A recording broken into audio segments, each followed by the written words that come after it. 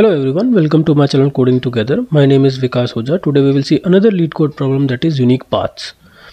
It is a medium level question and it's also a very popular question as you can see from the likes. So let's read the problem statement first.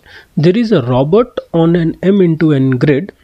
So we are given with a uh, m into n grid where m denotes the number of rows and n denotes the number of columns. So it has and the robot is at the grid 0 comma 0 and it has to reach the finish point that is uh, located at grid m minus 1 n minus 1 so in how many ways the robot can reach the finish point? Now the robot the condition is the robot can only move either down or right at any point in time. It can move and only right or down. So we have to find the number of possible unique paths that the robot can take to reach the bottom right corner. So let's understand this problem with the same example drawn here. The robot is at the position 0 comma 0 and the robot has to reach the finish point that is m minus 1 n minus 1 so we have to find the, all the unique paths the robot can take to reach m minus 1 n minus 1 cell. So as we know the constraints are the robot can move either right and down. Right? So one of the possible uh, ways to find the solution is backtracking you know finding recursively finding all the solutions recursively finding all the solutions from the starting point to the end point. So suppose we start at 0 comma 0 so at 0 comma 0 robot has two choices either to go right or to go down. Again after uh, so suppose the robot goes down then the robot has again two choices either to go right or to go down and recursively recursively it will uh, again it will go to another cell right by taking one of the choices right and then again it has one of the choices until it reaches m minus 1 comma n minus 1 that will be our leaf node so that is what we do in recursion. One of the possible ways doing this right? So if we you know find all the possible paths using this brute force so it will be of time complexity 2 to power m plus n right? Because the total depth of this tree recursion tree will be m plus n right? Robot can take m m steps of the rows like it can go down down till m and then go n uh, cells to the right to join uh, to reach the finish line. So the maximum uh, depth of the tree for any path will be m plus 1 m plus n right? Either it takes like it goes 1 2 3 and then go if it goes one right right right and then goes down then goes right. So it will be always m plus n depth for any path.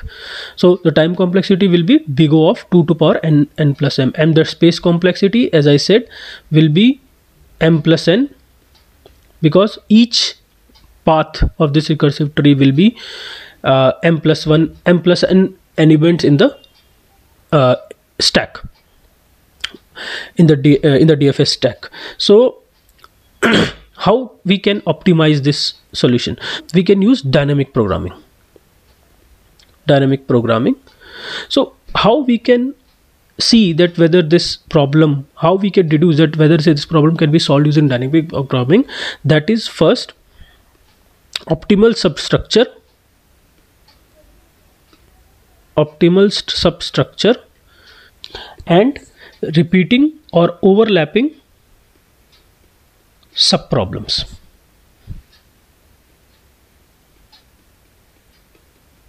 So these two conditions, these two conditions uh, indicate that we can use dynamic programming. So what is optimal structure? A substructure is that using the larger subproblem, larger problem can be solved using smaller subproblems. Right? This is the optimal substructure. So how this satisfies this optimal substructure? That whenever robot moves either down or right, I, whenever the robot moves right or down, the grid, the area of grid reduces. Right? Area of grid reduces. Area of the our problem gets reduced to a smaller sub problem right if you see if the robot moves down the grid becomes this much the highlighted one right?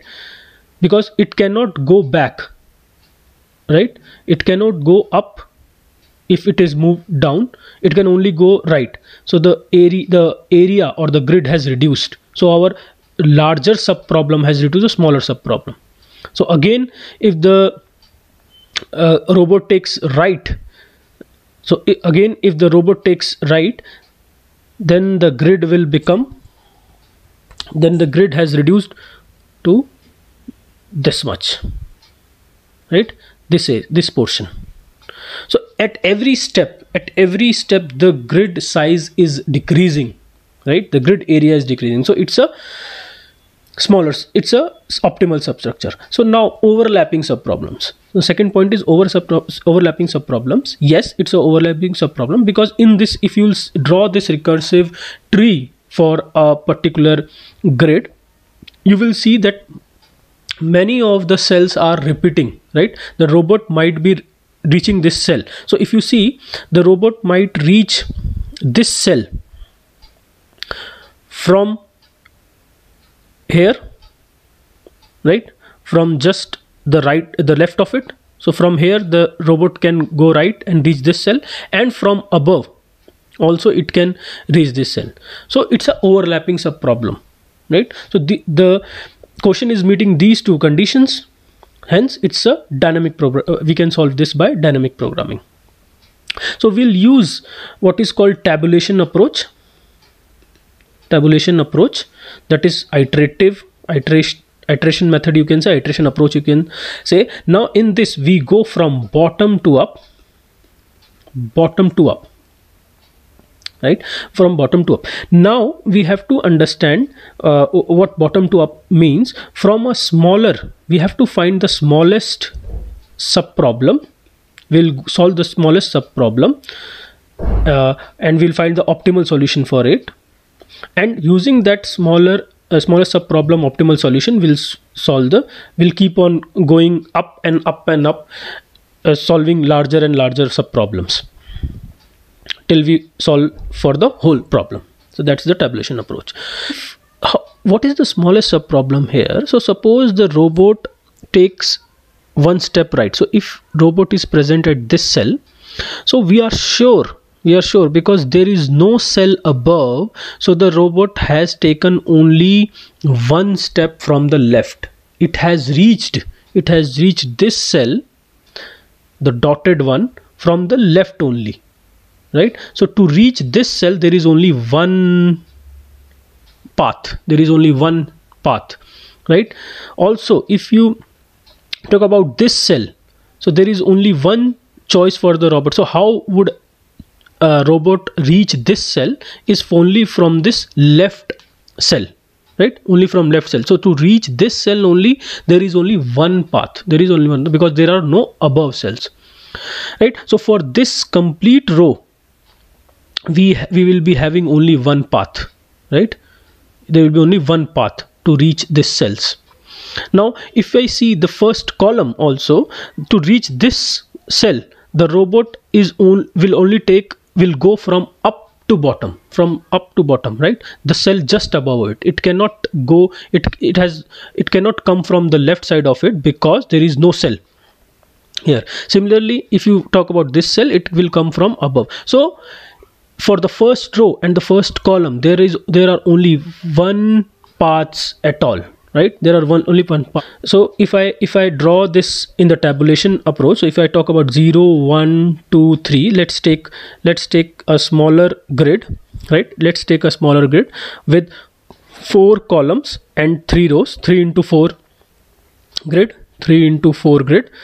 Now as i as we saw above so for for uh, each each uh, cell right? For the each cell it will be one only right? It will be one only one path right? So to reach the starting point it's only one because there is only one path uh, it reached here it reached the start. So the first row and first column will be all one. Now now we will when we are at this cell now let's talk about this cell. When we are at this cell what about this cell? So the robot can come from up the robot can come from up to this cell and can come from the left.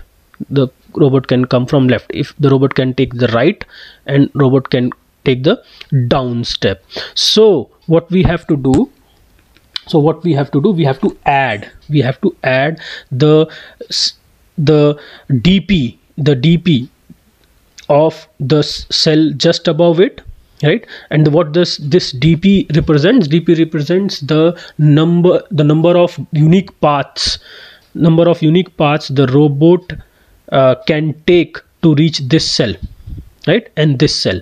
So we'll have to add the dp of 1 comma 1 and a dp of 2 comma 0 right? So it will be dp of 1 comma 1 plus 1 comma 1 plus dp of 2 comma 0 that will be 2 right?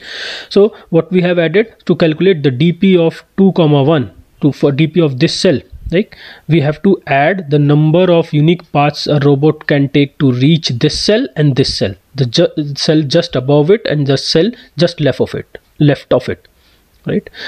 Now at for this cell again we will add the dp of this cell and dp of this cell. That is 1 plus 2 right? So 1 plus 2 is 3 so there are three unique paths for a robot to reach this cell right? Now for the dp of 2 comma 3 right? For the dp of 2 comma 3 what we add is dp of 2 uh, 1 comma 3 just the cell just above it and 2 comma 2 so what is 1 comma 3 and 2 comma 3 1 plus 3 that will be equal to 4 right? For this cell 1 plus 2 that will be 3 right? The cell the dp of the cell just above it and dp of the cell just left of it. Now for this cell what will be 3 plus 3 that is 6 and for this cell it will be 6 plus 4 that is 10 so there are 10 possible ways to reach the finish point.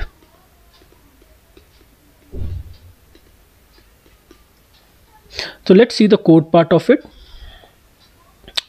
Okay. So here we have initialized our dp right dp will be a 2d array with an size m cross n right? For each cell we have a dp will representing each cell. Now we will call our helper method where we are passing the m and n the rows and the columns and the dp so we'll iterate over m and n for each cell right?